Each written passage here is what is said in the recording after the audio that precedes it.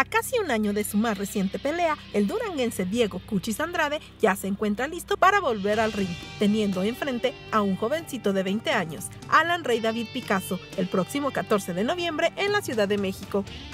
Mi última pelea ya va casi para un año, pero fue con un peleador bastante duro llamado Alexis Reyes y el día de hoy me estoy preparando muy bien para dar un gran espectáculo y, traerme ese triunfo.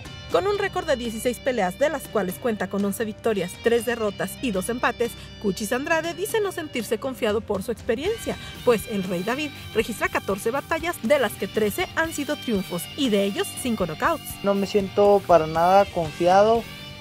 Sé que David Rey Picasso es un peleador bastante fuerte, muy duro, pero yo voy dispuesto a dar una guerra arriba del ring. Este, no voy para nada confiado, sé que es un, buen, boxeador, pero vamos a, darle con todo. He mirado unas, unas cuantas peleas de él y, sé que es muy fuerte y, sé que todos sus golpes los tira bien colocados. Es un campeón juvenil, juvenil plata.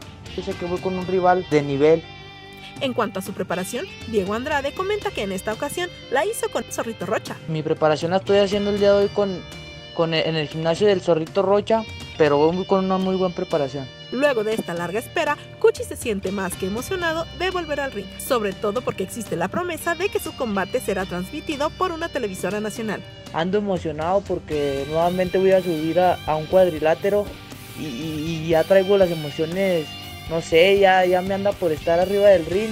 Como siempre, yo cada vez que subo al cuadrilátero subo con una emoción de dar un gran espectáculo y, también quiero comunicarles que si Dios quiere este, estaremos saliendo en, el canal 7 en Box Azteca para que estén atentos toda la afición de, de, Durango. Y es que como a muchos deportistas, esta pandemia por COVID-19 le obligó a suspender otra importante pelea.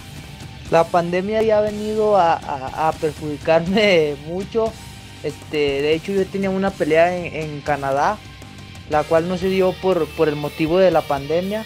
Esperemos si el día de hoy no, no vaya a ser igual, que, esté con una preparación y, a la mera hora se, se, caiga mi pelea nuevamente.